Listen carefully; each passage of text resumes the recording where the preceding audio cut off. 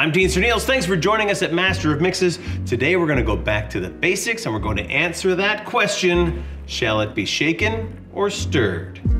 I'm gonna start off with a stirred cocktail, going through some of the techniques and some of the ingredients that you might find in a stirred cocktail. I always start making my drinks off with a big glass filled with ice. If you have your shaker glass filled with ice, that's totally fine. I like to use the clear glass so we can see the ingredients going together and see what's happening.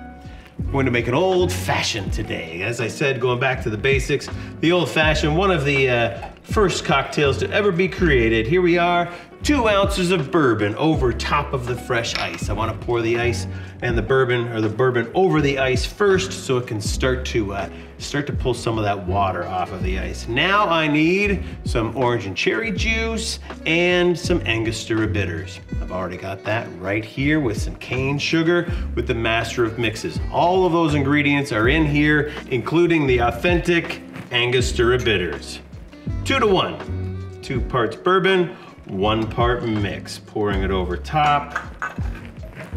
And when we stir cocktails, we're introducing the ice cubes and the ingredients a little bit more subtly together. So we just wanna stir it around. And what we're doing is we are extracting the cold water off of the outside of the ice cubes. Getting the ingredients cold, but also taking a 15 to 20% water off of there because we need that water to be integrated to make this a, uh, a, true cocktail of spirits of any kind, sugar, water, and bitters. Okay? stirring it. That's your choice as the bartender on how long you stir it. Some want to serve the drink where it's very bourbon forward, and some want to stir it a little longer to infuse the flavors together to make it taste like an old fashioned. All right, and if you happen to have forgotten to bring a julep strainer today, you could just use a big spoon to pour those ingredients over top of a nice clear ice cube. All right.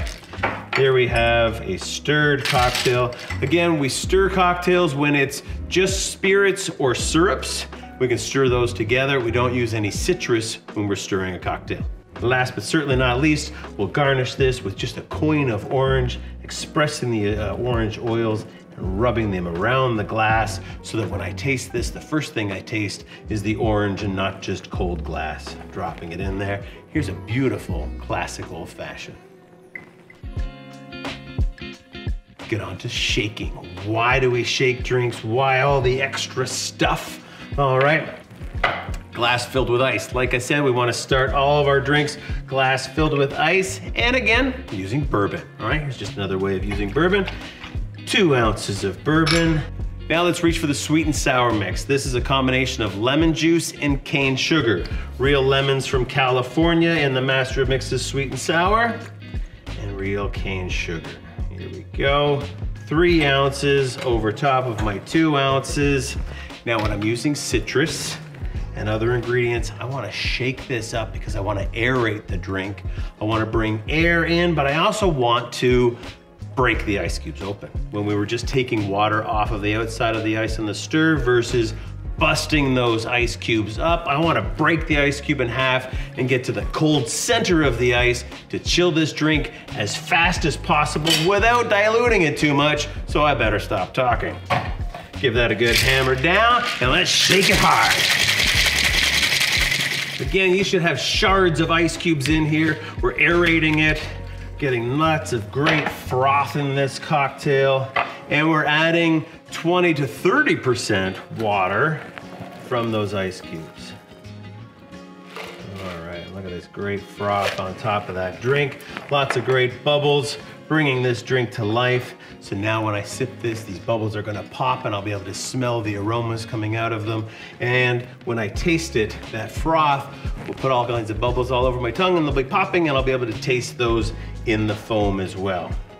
So, two great classic cocktails. Back to the basics with an old fashioned, stirred, strained over fresh ice, or the whiskey sour, shaken and strained over fresh ice. Thanks for joining us for Shaken or Stirred. I'm Dean Serneels. Be sure to check out Master of Mixes for more of these great cocktail recipes and ideas.